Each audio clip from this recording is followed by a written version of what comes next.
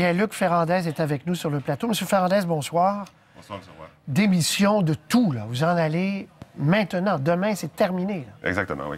Bon, euh, vous dites, j'avais le sentiment de berner les gens en restant dans cette administration-là parce qu'on ne fait pas ce qu'il faut faire en environnement.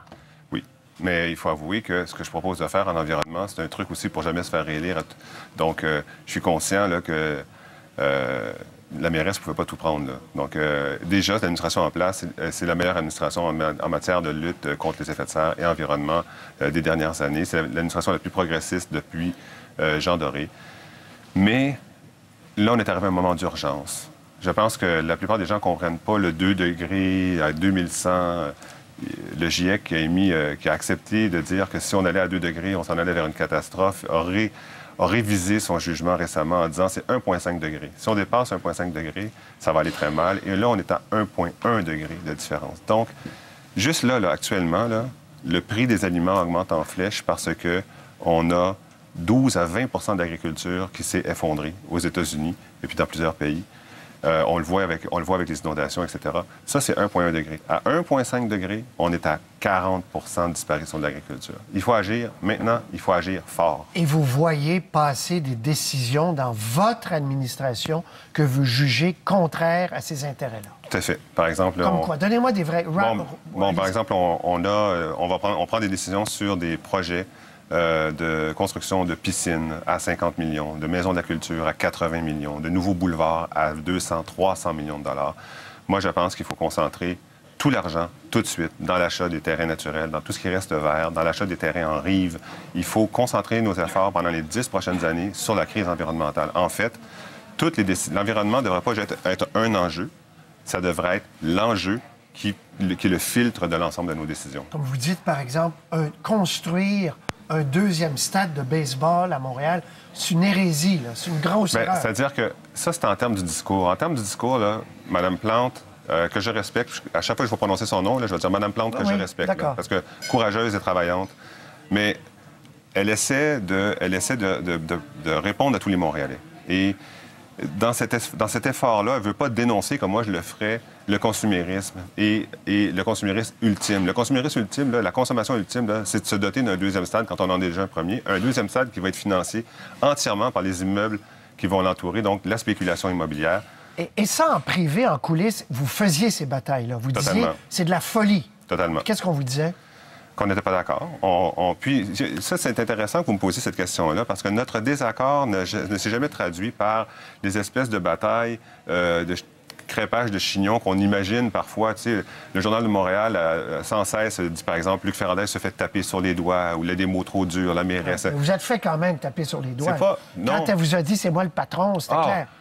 Oui, c'est vrai. Euh, Dans Ah. les médias, elle a été obligée de rectifier, de dire c'est moi le patron, c'est moi la mairesse. Et on se met à sa place. C'est la première mairesse de Montréal. D'accord. Euh, puis moi, j'étais l'ex-chef. Alors, mais Mais vous disiez qu'en coulisses, Voilà. vous faisiez ces batailles-là. Voilà.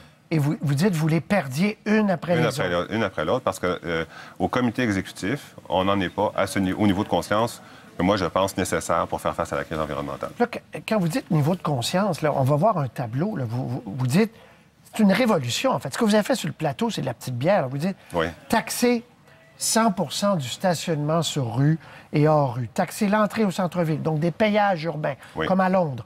Taxer les déchets, ben, ça c'est déjà fait. Taxer la viande, empêcher l'agrandissement de l'aéroport. Acquérir et zoner tous les terrains verts, vous en avez parlé, encore disponibles. Réinventer le recyclage, etc.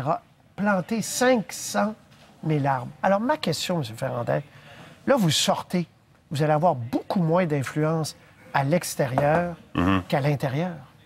Bon, d'abord, l'influence que j'avais à exercer, l'ensemble des projets que j'ai lancés, euh, le Grand Parc de l'Ouest, le Grand Parc de l'Est, les corridors verts, euh, les trois nouveaux grands parcs, etc., je l'ai fait. Euh, les travaux pas- sur... c'est pas- c'est pas terminé, c'est pas terminé, mais c'est dans la machine. C'est-à-dire que maintenant, ce sont des fonctionnaires qui travaillent dessus. Et la place McGill, la rue Sainte-Catherine, le Carré Philippe, la place des Montréalaises, etc. Alors, là, maintenant, ce, que je- ce, ce travail-là de base est fait. Maintenant, il aurait fallu pousser plus loin. Puis, pour pousser plus loin, je sens que je sens que Projet Montréal a besoin d'un- choc, a besoin de se faire dire par ses membres allons plus loin. Et euh, ils ne géreront pas, ne géreront pas euh, euh, de façon standard, de façon classique, la politique montréalaise. On n'est pas dans un moment de gestion standard de la, de la Vous dites que la mairesse a trop pactisé avec les intérêts économiques qui, à votre avis, fait qu'il y a trop de compromis. Oui. Vous avez lu dans mon texte, par exemple, que je m'empresse de dire que je la sais plus représentative que moi et que moi, j'aurais jamais été élu avec un programme comme ça. C'est elle qui a été élue, puis c'est elle qui a à faire à prendre la décision de comment elle va poursuivre sa route à travers une gauche qui pousse puis une droite qui pousse. Mais moi, je m'arrange pour pousser, par exemple. Je sors de la politique pour pousser puis pour dire, ben voilà. Mais quel intérêt, puis on a posé la même question à Nicolas Hulot quand il a claqué la porte du gouvernement français, quel pouvoir puis quelle, quelle prise aurez-vous, en prise aurez-vous sur les décisions puisque vous ne serez plus là, jamais? Mais quand je suis là, je donne une sorte... Une caution. Une caution et que je ne veux plus donner. Et ça, c'est, j'imagine, comme Nicolas Hulot, c'est peut-être un exemple des trop grandes pointures pour moi, là, mais je, euh, je ne suis après tout qu'un maire d'arrondissement. Mais. Euh... et, ça nous fait rire quand vous dites ça. ouais. euh, peut-être le plus connu des maires d'arrondissement. On peut, on peut au moins dire ça. C'est pas l'humilité qui vous étouffe quand même. Hein, non, non, non, écoute, ça prend un peu d'ego pour faire le travail qu'on fait. Bien, vous en avez, je confie. Oui, oui. Donc, euh, j'ai perdu ma phrase. Vous dites, je ne veux pas être la caution ah oui, ça. de Mme Plante, la caution environnementale, puis qu'on me Est-ce que je suis un peu comme M. Hulot? Puis qu'on me fasse taire. Puis, voilà, c'est exactement parce qu'on vous faisait taire quand même. Oui, oui, absolument. Là, c'est la mairesse qui prend les décisions dans son bureau avec son cabinet. Puis, euh, euh, mais, mais il n'y a pas juste M. Hulot, il y, en a à travers le monde. En ce moment, les discussions au sein du Parti démocrate, M. Biden, qui veut se présenter à la présidence, se fait beaucoup attaquer par le Parti démocrate pour dire on veut un plan environnemental plus radical que ça. Alors, justement, la suite, parce que vous êtes préoccupé, comme beaucoup de gens.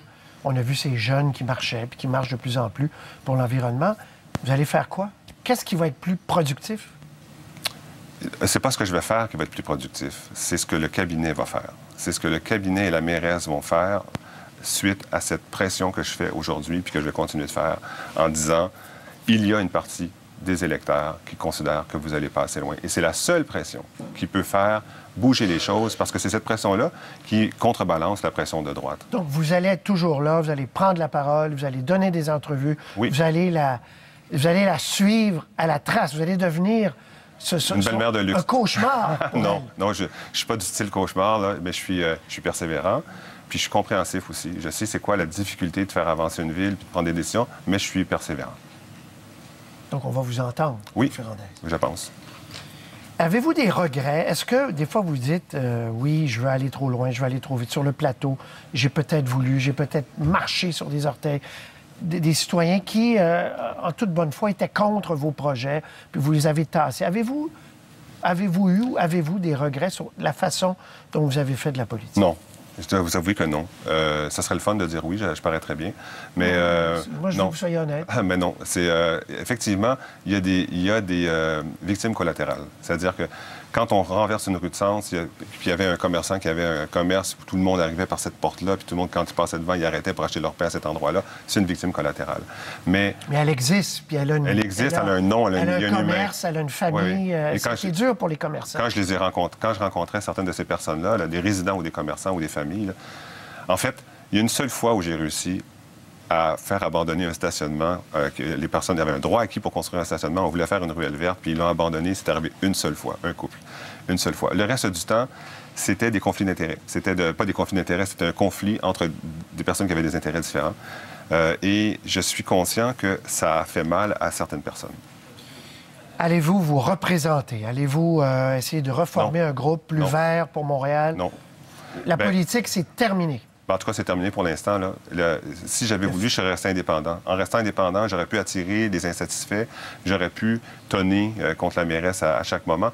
Et en faisant ça, euh, je fragilisais Projet Montréal. Puis on est dans un contexte où il n'y a presque pas de parti progressiste au Canada. Puis on se dirige vers une, une administration peut-être qui ne le sera pas du tout au Parti conservateur.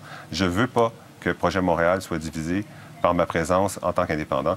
Et je, les- je continue de les soutenir. C'était ma prochaine question. Il y a des campagnes électorales fédérales, candidats pour le Parti vert, pour le NPD, pour les libéraux? C'est dans les villes que ça se passe. C'est ça, c'est non. Non, c'est non. C'est dans les villes que ça se passe. Il faut acquérir les terrains. Vous en allez. Oui, mais je, je m'en vais en étant conscient qu'il y a assez de monde qui va faire pression sur le cabinet, sur la mairesse, pour que ça se passe à Montréal. Très bien. Alors, Luc Ferrandez, avez-vous un emploi? Est-ce qu'il y a eu une offre Non, qui a fait euh, non. dévier plus rapidement la trajectoire? Euh, non, par contre, il faut que je m'en trouve un parce qu'en partant en- entre, deux, euh, entre deux mandats, donc je suis privé d'allocation de, départ ou de transition, alors je vais me trouver un emploi. OK, vous n'avez pas d'allocation de départ, là? Non. Parce que C'est la nouvelle réglementation. Lorsqu'on quitte entre deux mandats, on n'a rien. Même pas de chômage, d'ailleurs. Mais le sentiment d'urgence, on va boucler avec ça, était tel que vous vous êtes dit, c'est maintenant, j'en peux plus, là. Mais mon sentiment d'urgence, là, c'est que moi, je regarde mon fils, là, puis je me dis, lui, c'est la première génération qui n'aura pas le droit de procréer.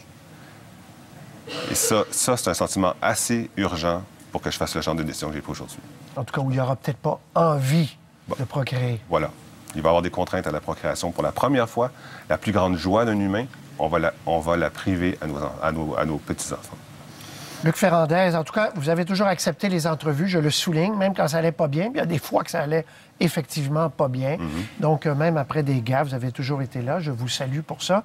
Puis bonne chance pour la suite. Puis ça a été quand même tout un coup de tonnerre, annoncé tard, avant les bulletins de nouvelles. C'est très bien. Ça nous fait patiner plus vite. Merci, à la Merci, prochaine. M. Roy. Merci Salut. beaucoup. Merci. Au revoir.